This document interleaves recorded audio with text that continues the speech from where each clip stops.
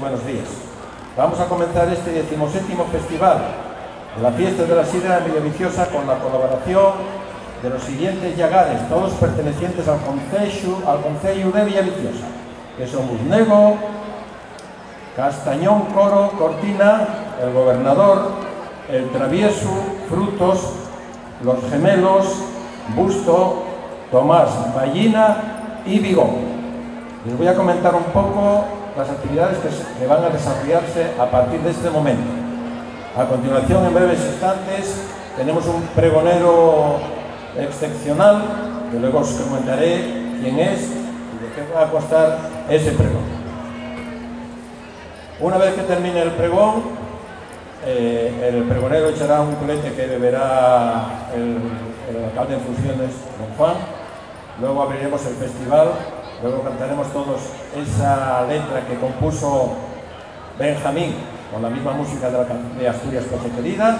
Damos por abierto el festival y luego a las 3 lo cerramos. No obstante, a la una hay una actividad que es la entrega de etiquetes, siempre, todos los años. Llevan 17 años celebrándose. Ellos nos dirán aquí que ha sido ganador este año de, ese de nueva etiqueta, la etiqueta más guapina del 2017 del 2014, perdón, de este 17 Festival de la Sidra. Luego a las 5 aproximadamente hay concurso de escanciadores y luego una vez que termine este hay eh, actuación del cuarteto Torner que también se viene haciendo a través, hay muchos años. Vamos entonces a recibir al pregonero de este 17 Festival de la Sidra que es don Benjamín vean, Benjamín y también vamos a recibir a su nieto, Benjamín, tiene que seguir el nombre de Benjamín, que pertenece a la quinta generación, y él nos va pues, a hablar un poco. Ya sabéis que Benjamín es el primero de cinco hermanos, ¿sois? De cinco hermanos. Lleva toda la vida eh, instalados aquí en Villaviciosa, en el Congreso, y hoy celebra precisamente este 2014 100 años de la instalación del, establecimiento. Por tanto, eh, Benjamín Junior, que está aquí, es, pertenece a la quinta generación. Esperemos que siga como su abuelo y su padre echando polinos de sidra. ¿Echa bien un sidra?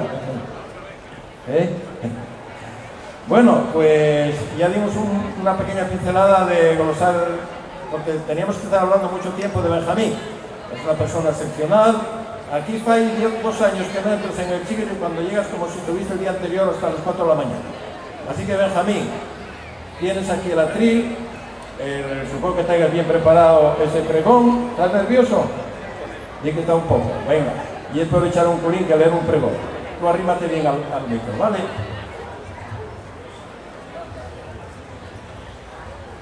Señor alcalde en funciones, autoridades, señoras, Señores, buenos días a todos.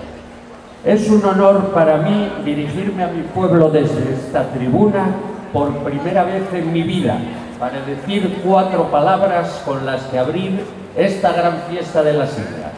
Ante todo, quiero mostrar mi agradecimiento tanto a la Corporación Municipal como a los lagareros, que con su trabajo los unos y gracias a su generosidad los otros hacen posible que esta fiesta se celebre año tras año con tanto éxito. También quiero aprovechar esta ocasión para acordarme de los productores de nuestras manzanas, porque sin ellos nada de esto sería posible, y pedirles a los propios lagareros que desvíen un poco más de su generosidad hacia ellos, haciéndoles ilusionarse con lo que hacen. De esa forma también se cuida el futuro de nuestra querida Sidrina esa sidra que camina sola por toda nuestra geografía y se despacha por todos los chigres de nuestra querida Asturias.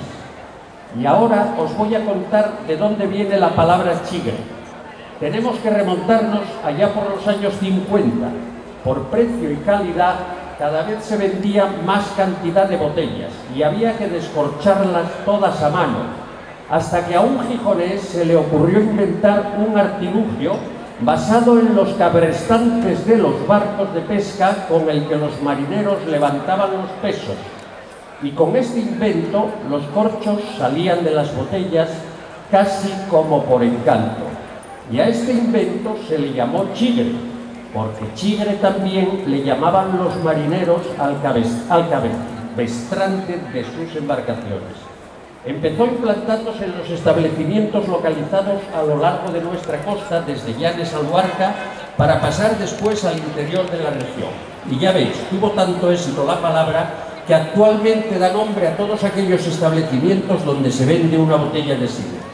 Precisamente en uno de esos chigres, en el moreno del puntal que hoy lleva con gran éxito Marino Vigón, estaban dos viejinos sentados el otro día en la terraza con aquellos vistes tomando unos botellines de sidra de César el Cucharén, que Marino trabaja en exclusiva para toda la zona de Villaviciosa.